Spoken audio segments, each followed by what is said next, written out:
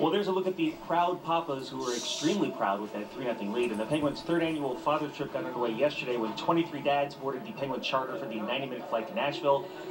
Then dinner at Fleming's Steakhouse. That's right, the evening filled with lots of great conversation. And the players then passed along a personal thank you with a personalized video, which was actually very nice. It was kind of cool to kind of hang out there for a little bit and watch the guys all reminisce. All right, Steigy, let's wind back the clock and take you back to the morning skate. That's when the Penguins and their dads gathered at center ice for the team photo. Imagine all the hockey photos that these fathers and sons have taken throughout the years, and this one probably has to rank pretty high on that list. And shortly after that, it was time to go to work.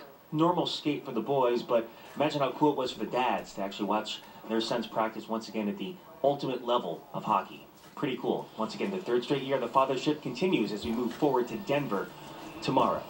Back upstairs to you. Yeah, and I know that these players want to uh, put their best foot forward and do what they've always wanted to do for their dads, and that's play the best they can possibly play in front of them. And I guarantee you, the